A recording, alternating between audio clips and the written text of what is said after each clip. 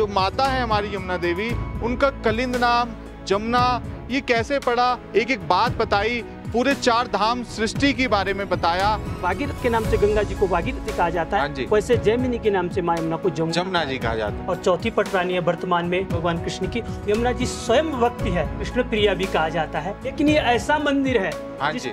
जो आप बारह महीने आप यहाँ पे माँ यमुना के दर्शन कर दर्शन कर सकते हैं। आग्रह करना चाहूँगा भारत सरकार से स्वयं प्रधानमंत्री नरेंद्र मोदी जी से पाँच किलोमीटर का रास्ता पैदल लेकिन बहुत दुर्लभ है।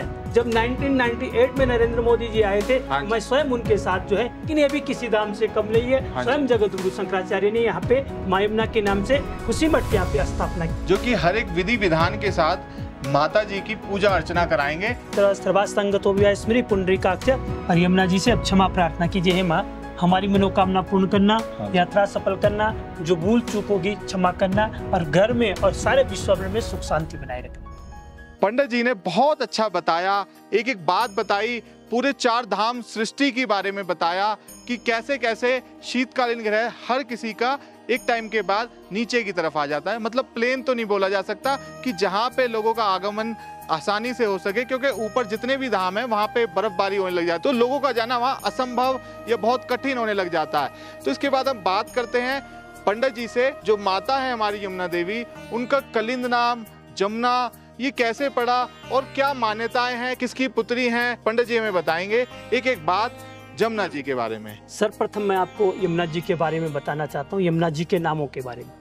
यमुना जी जो है यमुना जी कलिंद गिरी मस्तक पतत मंद पुरोज्वला जब सर्वप्रथम यमुना जी का गौलोकधाम से आवागमन मृत्युलोक में हुआ तो कलिंद पर्वत हुआ इस कलिंद पर- पर्वत। कलिंद पर्वत पर हुआ इसलिए हाँ कलिंदी कहा जाता है। सूर्य भगवान की दो पत्नियाँ थी संज्ञा और छाया। ठीक है। संज्ञा से यमुना और यमराज जुड़वा हुए छाया से शनि महाराज और वैभव ठीक है। तो यम की बहन होने के कारण यमुना नाम पड़ा। है। जैमिनी नाम के ऋषि ने सप्तों में जैमिनी नाम के जो ऋषि हुए तो लोक में लाने के लिए मायमना की तपस्या की। हाँ उन्हीं के नाम से जैसे भागीरथ के नाम से गंगा जी को भागीरथी कहा जाता हाँ है वैसे जैमिनी के नाम से मायमना को जमुना कहा जाता है। तो देखिए कितना महत्व बताया कि कैसे कैसे जमुना जी नाम पड़ा कैसे उनको कलिंद पर्वत से लाया गया तो कैसे कलिंद माता उनका नाम पड़ा? भगवान की कितनी कृपा है हमारे पे थोड़ी थोड़ी बारिश होने लगी है तो इस वीडियो को हम अंदर स्टार्ट करते हैं और साक्षात मंदिर में माता के पास जाते हैं और इसका आगे का प्रसारण वहाँ पे करते हैं। आइए पंडित जी अब हम माता के दर्शन करते हैं जो रूप है उसके बारे में समझते हैं और क्या महत्व रखता है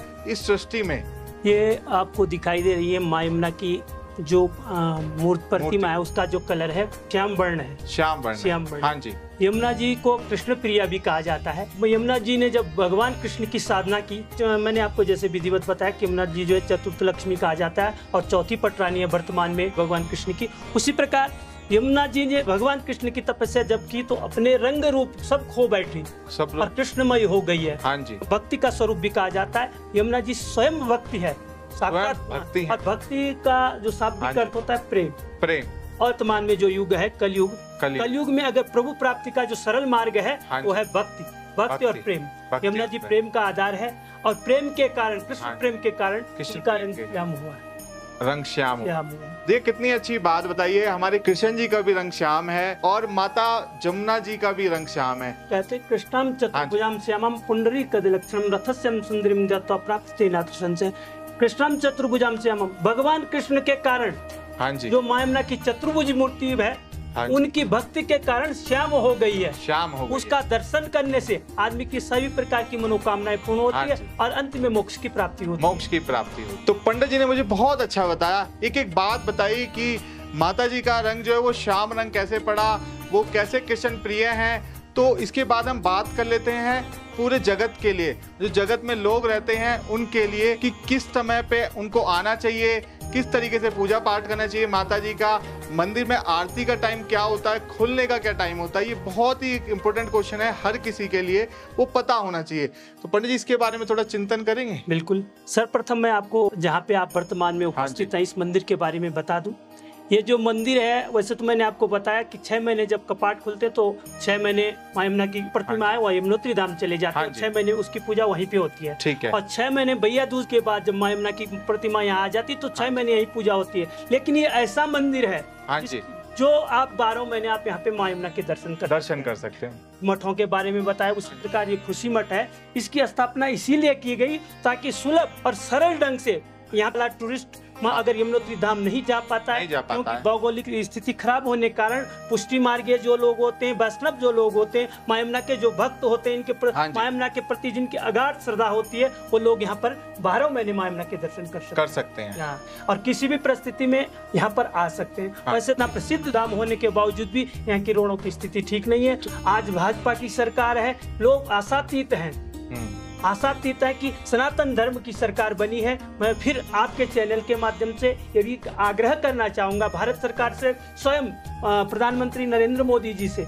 जब 1998 में नरेंद्र मोदी जी आए थे हाँ मैं स्वयं उनके साथ जो है यमुनोत्री धाम की यात्रा पे यात्रा गया था। पे उस समय यहाँ पे 14 किलोमीटर पैदल चलना पड़ता था। हनुमान चट्टी से पैदल लोग आते थे। हनुमान चट्टी आज जो है मात्र पाँच किलोमीटर का रास्ता पैदल लेकिन बहुत दुर्लभ है। मैं चाहता हूँ यहाँ की रोडों का विस्तार ढंग से हो यहाँ की रोड सुगम बने ताकि माँ यमुना के जो श्रद्धालु हैं अधिक से अधिक संख्या में अगर यमुनोत्री भी नहीं जा पाते खरसाली में आकर भी खुशी मठ में भी मायमना के दर्शनों का पूर्ण फल अर्जित कर सकते हैं। वहाँ पर भी यही फल मिलेगा जो आपको यमुनोत्री में मिलेगा। ये भी माँ यमुना की गद्दी है शीतकालीन गद्दी है और वो अ, यात्राकालीन गद्दी है। भले यह है कि यमुना यमुनोत्री तो धाम है हाँ उसका अपना अलग महत्व है लेकिन ये भी किसी धाम से कम नहीं है। हाँ स्वयं जगत गुरु शंकराचार्य ने यहाँ पे माँ यमुना के नाम से खुशी मठ के यहाँ पे स्थापना की तो शाम को आरती का क्या टाइम होता है मंदिर सुबह कितने बजे खुल जाता है और भक्तगण जो है कितने बजे से कितने बजे तक पूजा अर्चना कर सकते हैं। सुबह आप सवा छह बजे से यहाँ पे मंदिर में दर्शन दर्शन कर सकते हैं। सकते हैं। और शाम को सवा दस बजे तक है आप आपको दर्शन वैसे आरती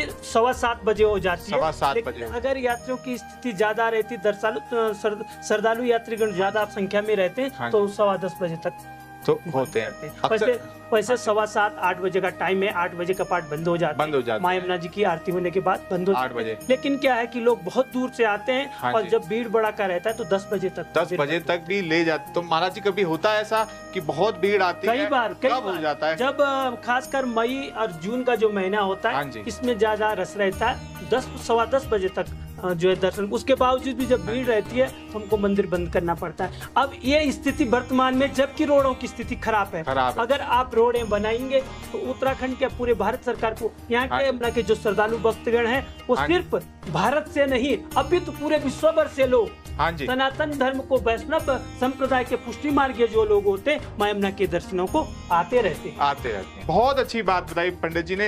हर एक पॉइंट हमारा क्लियर करा है। इसके बाद हम आगे बात करते हैं। पंडित जी से यहाँ पे पूजा अर्चना कैसे होती है? पूजा अर्चना हम माता जी की कैसे कर सकते हैं? उसका एक छोटा सा पार्ट हम आपको दिखाने वाले हैं। चलिए पंडित जी। तो साक्षात हम माँ यमुना जी के चरणों के पास हैं और पंडित जी हमारे साथ हैं जो कि हर एक विधि विधान के साथ माता जी की पूजा अर्चना कराएँगे। तो चलिए पंडित जी शुरू करें। जय श्री राम ने जय श्री सबसे पहले आप बाया हाथ कीजिएगा लेफ़्ट हैंड ये लीजिए। जल ले लीजिए और दाहिनी हाथ की अनामी कर मध्यमा से जल को अभिमंत्रित करके छीटा मारिए।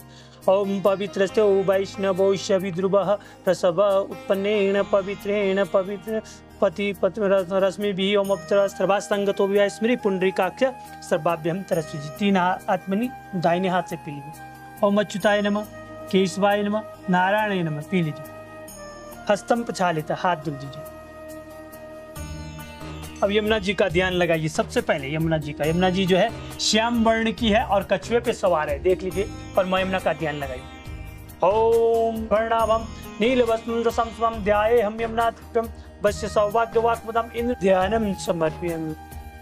ओम चंदन का छीटा मारिए। ओम गंधम द्वारा दुरादशान नित्य ईश्वरी सर्वभूतानां तम्यो प्रवेशरि नमो दिव्य महादिव्य शिवाय सप्तम नमो नमो प्रकृति भद्राय प्रणतोस्मि नियताम शुचि मैं आपको ओम मंगलम भगवान मंगलम भगवान मंगलम गरुड़ध्वज मंगलम पुंडरीकाक्ष मंगलाय स्तनोहरि सर्वाबाधा विनिर्मुक्तो दंदन तन्वित मनुष्यो मत प्रसादेन भविष्यन्ति न